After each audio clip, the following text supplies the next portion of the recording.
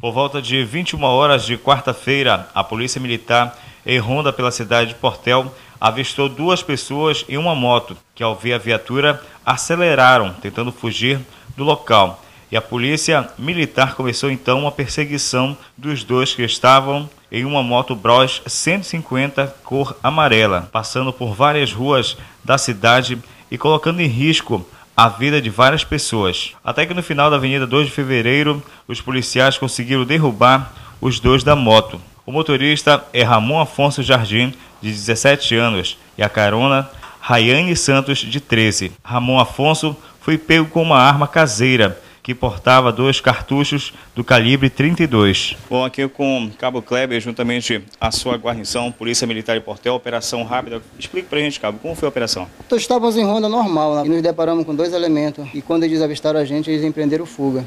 E fizemos uma perseguição, chegamos a perder os mesmos numa broche laranjada é, para a banda da Portelinha, lá do conjunto, melhor dizendo, do conjunto. E quando nós estávamos retornando, ficamos aguardando e quando nos deparamos com uma moto que vinha em nossa direção. E de repente freou do nada, uma freada brusca, e empreendeu fuga. E nós novamente é, tínhamos suspeita que estava vendo, tinha dois motoqueiros em uma moto fazendo assalto, e, e fizemos perseguição aos mesmos. Viemos do, de lá do conjunto, fomos até o final da 2 de fevereiro e voltamos de novo para Castelo Branco, né? E voltamos de novo para 2 de fevereiro, quando chegou próximo à subestação. Isso ele empreendendo fuga sem colocando em risco a vida dele e principalmente a nossa. E quando chegou próximo da subestação, nós conseguimos chegar até os mesmos e derrubamos da moto. Já aí quase parando, derrubamos da moto. E como vocês podem ver nas imagens, nós pegamos com, com o piloto, que é esse cidadão, que por sinal é de menor, infelizmente, e fizemos a detenção do mesmo e agora vamos encaminhar para a delegacia para os procedimentos cabíveis. E graças a Deus nós conseguimos capturá-lo e quase perdemos a vida. Mas como nós somos filhos de Deus, abençoados por Deus, com a graça de Deus, conseguimos fazer o nosso trabalho. Mais uma vez a gente tira uma arma da rua. Estamos aí fazendo o nosso trabalho, a contento. Quem se sentir, quem se sentir ameaçado ou precisar do apoio da polícia, temos o nosso número que é o 8181 1309. Então, falando um pouquinho a respeito da arma caseira, com você tem mais é, a experiência aqui, tinha um cartucho, não é isso? Bom, tem um cartucho, ele está municiado, temos outros dentro que já está para pronto emprego. Não foi disparado não. contra a polícia ou não. contra um outro cidadão? Se fosse parado contra a polícia, com certeza ele não estaria aparecendo na filmagem. Ramon, é, o que na verdade você estava tentando fazer com essa arma caseira aqui, Ramon? Estava só andando mesmo com ela. Por que você fugiu da, da polícia no momento que você viu a, as viaturas passando?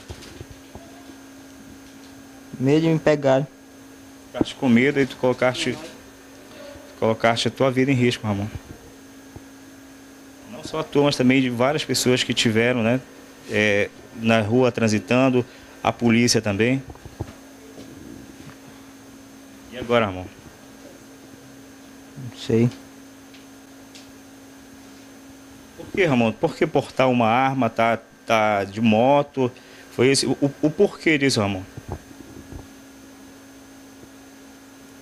Felizmente a nossa lei aqui, ela é branda. Ela é branda. Se nós pudéssemos fazer realmente cumprir a lei, seria mais fácil. Mas não, não depende só da polícia militar. Por que você estava com ele ainda? Porque ele disse que ele é meu namorado, né? Pediu pro meu pai e tudo mais, ele foi lá pra gente dar uma volta. Aí quando ele viu o carro da polícia, ele deu meia volta, aí eu fui segurando a cintura dele assim, tipo, ah, eu perguntei o que é isso, ele falou assim, não é nada. Aí pegou, acelerou a moto, aí eu gritava pra ele parar, ele não parava de jeito nenhum. Não tinha nenhum outro plano aí pra, pra com essa arma aí? Não. Não para. E agora? Tá arrependida também de ter o namorado? Sim. Filha de menor, ele não vai ser detido. Os pais já estão aí na frente, os responsáveis, entre aspas, já estão aí na frente. Os inconsequentes, realmente, os irresponsáveis que são eles, já estão aí na frente, vão assinar por eles e ele vai ser liberado e responder em liberdade.